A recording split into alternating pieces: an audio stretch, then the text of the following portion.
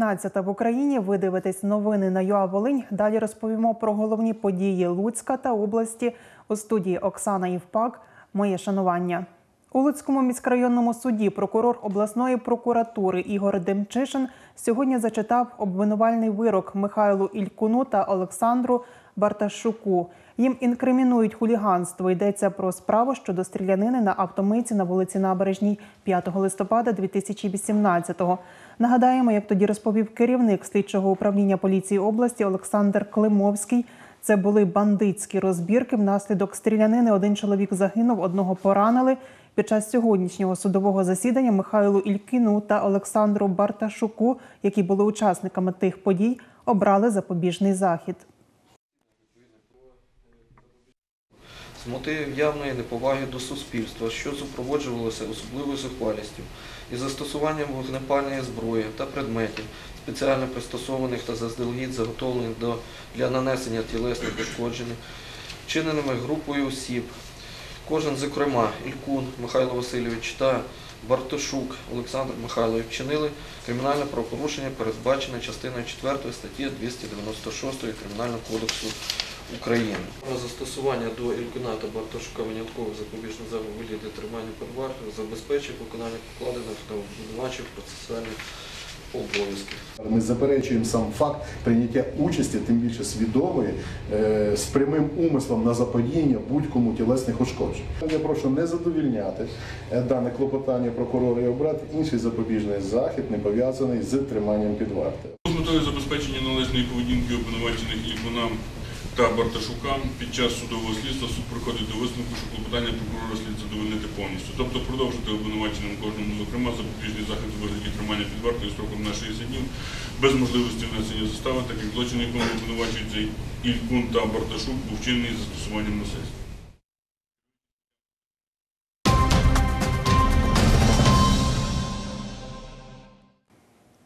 Луцьку на вулиці Чорновола ДТП. Аварія трапилася сьогодні близько 9 години ранку, розповів Суспільному речник головного управління Нацполіції в області Віктор Гомоль.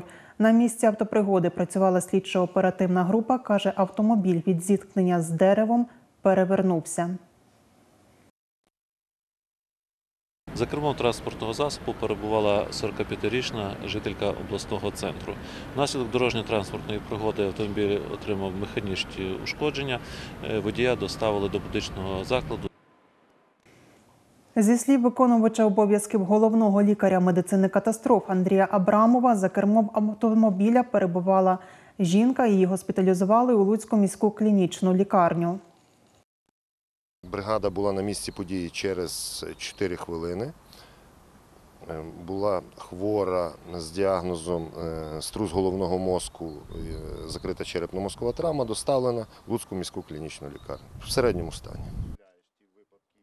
Зі слів заступника головного лікаря міської лікарні Андрія Смолянінова, жінка лікується у відділенні кардіології. Її стан стабільний.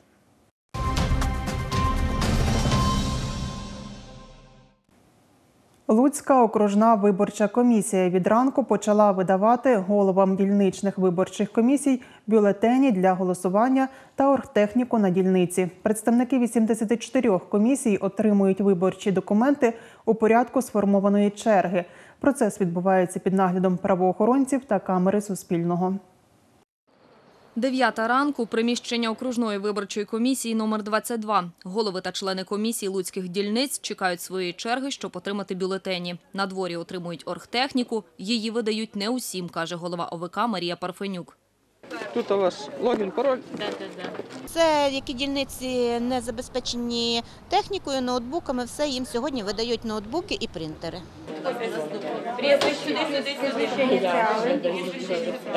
Усередині голови дільничних комісій після заповнення усіх паперів отримують потрібну кількість запакованих бюлетенів для голосування. У сусідній кімнаті коробки з розсортованими та запакованими бюлетенями. Для кожного свій пакунок. Скільки у вас? 268. Ні, ні, дивіться, у вас тут цифра. Це виборці. А, 292. 192. Дві. Дякую. Щастя і здоров'я. Член дільничної комісії номер 33 Дмитро Дмитрук одним з перших отримав виборчі документи. Розповідає, від сьогодні усі члени виборчих комісій працюватимуть понаднормово. Зараз ми що маємо робити? Поки що довести до дільниці, перерахувати, розподілити по е, членах дільничої комісії, хто буде видавати бюлетні, потім їх заховати, запечатати і чекати. Усі, хто вже отримав необхідну документацію та техніку, їдуть на дільниці. Членів ДВК супроводжують правоохоронці. Скільки поліцейських задіяно для охорони бюлетенів під час транспортування, заступник начальника Луцького відділку поліції Леонід Прокопчук не розповів. Каже, задіяли достатню кількість працівників поліції. отримуються бюлетні, забезпечується охорона бюлетнів, виборчої документації, як вимагає чинне законодавство. Все гарно, без на даний час без порушень. Голова окружної виборчої комісії Луцька Марія Парфенюк розповідає, три дні тому від ЦВК отримали 157 тисяч 744 бюлетені. Усі їх, каже, мають роздати до 15 години дня. 10 тисяч відвідувачів очікують цього року на фестивалі тюльпанів, що вдруге відбудеться у нашій області, розповів Суспільному власник фермерського господарства Олександр Подзідзей. Каже, торік на фестивалі побувало близько 6 тисяч людей. Тоді відвідувачам представили 200 сортів цих квітів.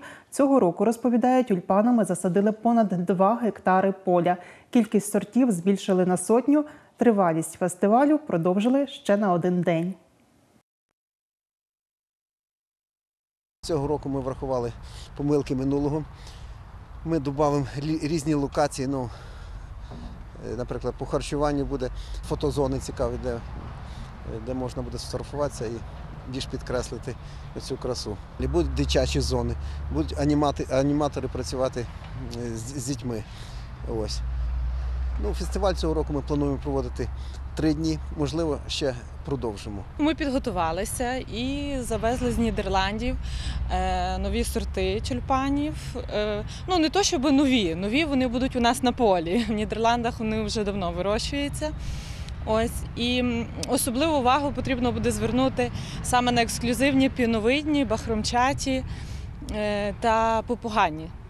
Ось це буде насправді дуже цікаво, будуть дуже красиві кольори. Умови зараз уже сприятливі, тому що пройшов перший нарешті весняний дощ і відразу вийшло сонечко. От такі умови тюльпан любить. Як і торік, тюльпанове поле квітнутиме поблизу селища Голоби Ковальського району. Точної дати проведення фестивалю організаторка не називає. каже, орієнтується на кінець квітня, початок травня. Цією інформацією завершуємо випуск. Мої колеги вже готують наступний. Дивіться його о 18.30. Одразу після новин в ефірі дебати кандидатів у президенти. За оперативними новинами стежте на сторінці ЮА Волинь у Фейсбук. До зустрічі в ефірі.